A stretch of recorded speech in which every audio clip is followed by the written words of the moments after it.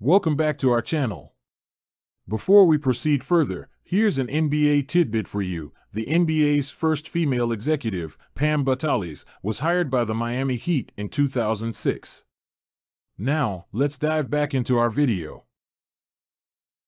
Bill Russell, the Celtics defensive mentor.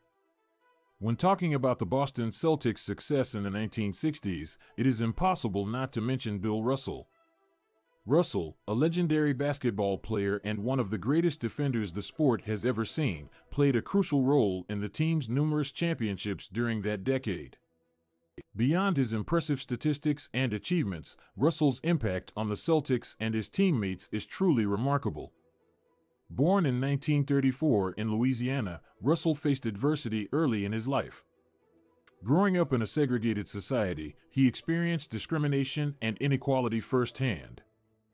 However, he found solace and passion in basketball, a sport that would eventually catapult him into stardom. Russell attended the University of San Francisco, where he guided his team to back to back NCAA championships in 1955 and 1956. In 1956, Russell joined the Boston Celtics in the NBA as the team's center and immediately made an impact. Apart from his imposing stature and athletic abilities, it was his defensive prowess that set him apart from his peers. Russell revolutionized the concept of defense in basketball, becoming the epitome of a skilled defender. Russell's defensive style was like no other.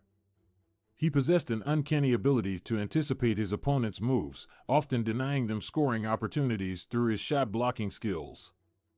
His timing and jumping ability were unmatched, allowing him to block shots without fouling. Moreover, Russell was a master of defensive positioning, constantly disrupting his opponent's offensive plays and forcing turnovers.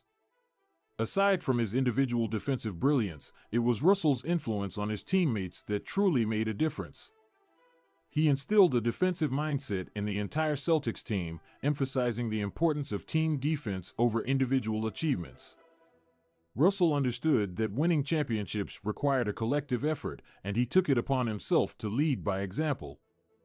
Russell's leadership on the defensive end was unparalleled. He served as the defensive anchor for the Celtics, organizing the team's defensive rotations and orchestrating their defensive strategies. He was often seen directing his teammates on the court, communicating with them, and providing guidance. Russell's presence alone was intimidating to opponents, knowing they had to face not just an individual defender, but an entire defensive system built around him.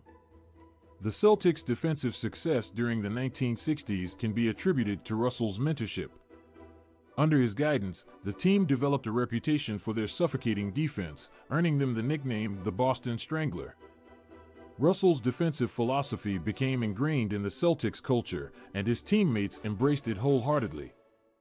Throughout his career, Russell won an astounding 11 NBA championships, an incredible feat by any standards. His impact on the game extended beyond his playing days, as he became the first African American coach in the NBA and later an influential civil rights advocate.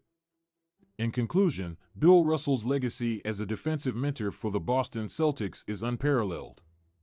His defensive style and leadership transformed the Celtics into a defensive powerhouse during the 1960s. Russell's ability to inspire his teammates and his dedication to team defense set him apart from other players of his era. His impact on the game of basketball and his contribution to civil rights make him a true icon of the sport, the sport, the sport.